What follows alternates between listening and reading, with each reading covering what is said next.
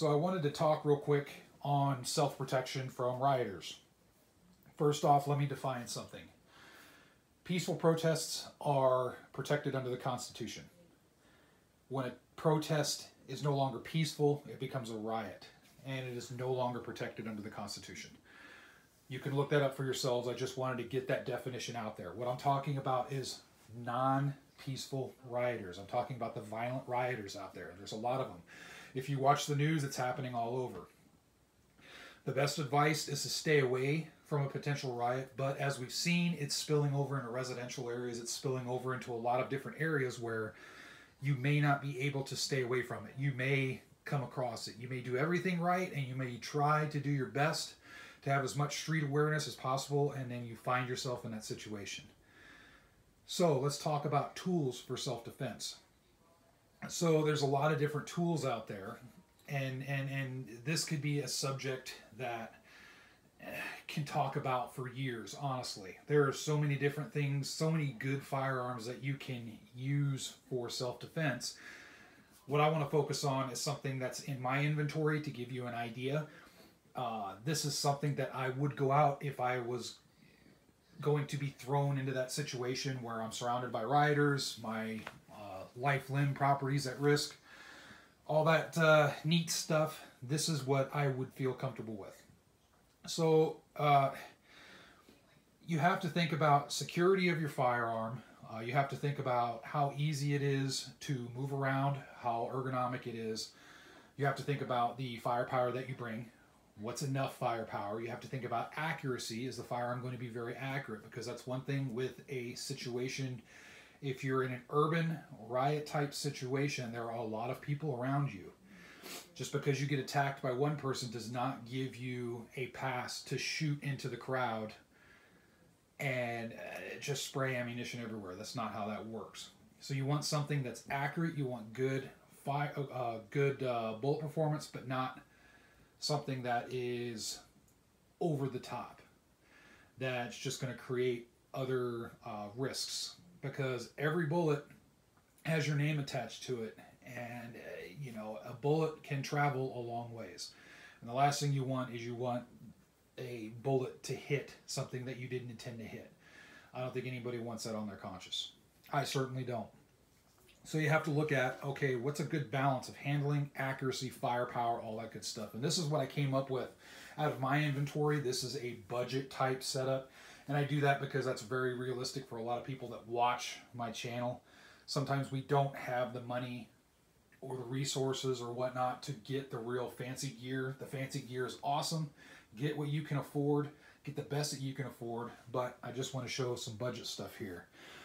So these are two pistols. This is an AR-15 pistol right here, 7.5 inch. Um, this is a Bear Creek Arsenal upper, just kind of a side note. Bear Creek, I have lots of their product. So I've had good experience with all their stuff so far, so I'm always going to recommend them. Uh, but anyway, uh, back on subject here. This is a 7.5 inch AR-15.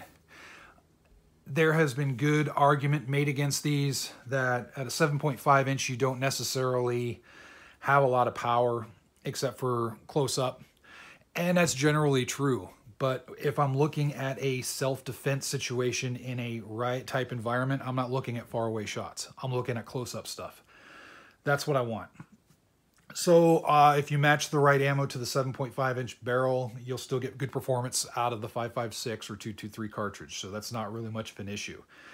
The way this particular pistol is set up, I just have iron sights and I have a light. That's all I have.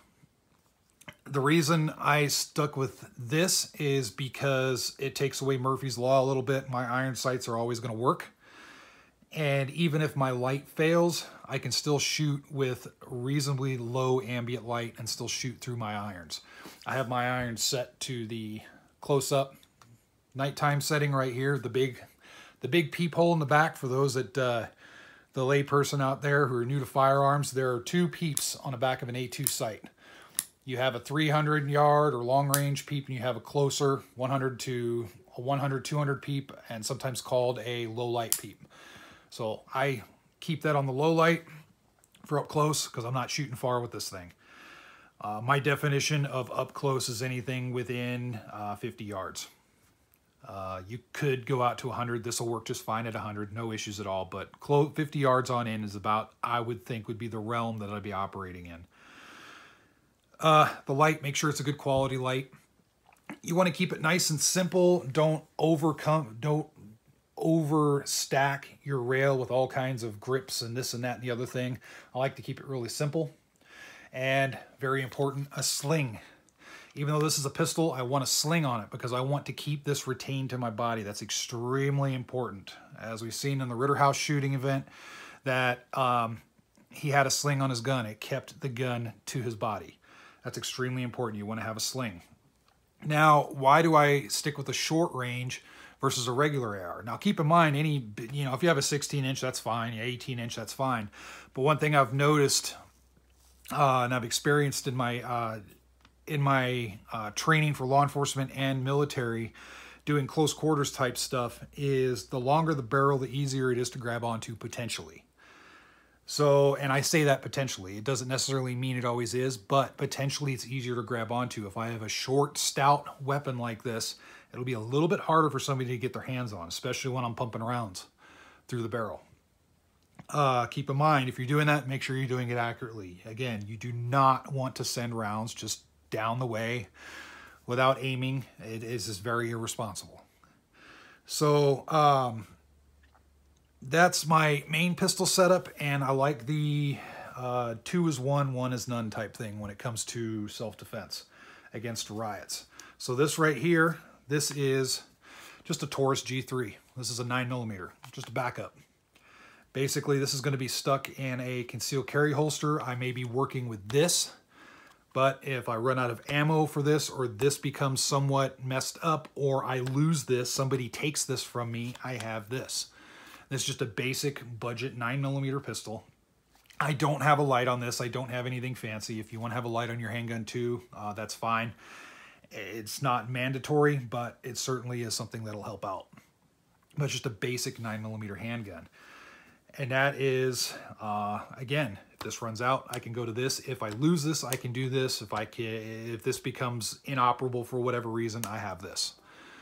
So uh, the one thing that you can change, this is configured for max um, compactness and for, you know, lightweight, all that good stuff. This only has a 20 round mag. Uh, I don't want to pull them out of my safe right now, but I do have Magpul 40 rounders. So if I was really going into it, I would probably pull this 20 rounder out and I'd have some 40 rounders just because I don't like to reload, especially in a life or death situation. I don't want to reload and I'd rather have 40 chances of not reloading versus 20. So just some some little uh, bullets of thought here that I wanted to send out to you folks. I don't like talking about, you know, stuff like that. I know it's a touchy subject, the whole riot protection type thing, but it's happening depending where you're at. So you want to think about, okay, if you're in a prone area where you might experience that sort of thing, how are you going to set up your tools? And more importantly, how are you going to fine tune your mindset to best deal with that situation? The best thing ever is to just stay away. But if you cannot stay away, or you've done everything you can and you can't stay away, uh, you want to make sure you have some good tools. Just look at what you have in your inventory, think about it. Uh, more importantly, learn how to fight with what you got. We can always wish that we had this, that, or the other thing, but it doesn't no good because you're going to fight with what you have. So you want to make sure to think about that. But anyway, feel free to put comments in the comment section below with your thoughts and advice and all that good stuff. So with that said, stay safe out there.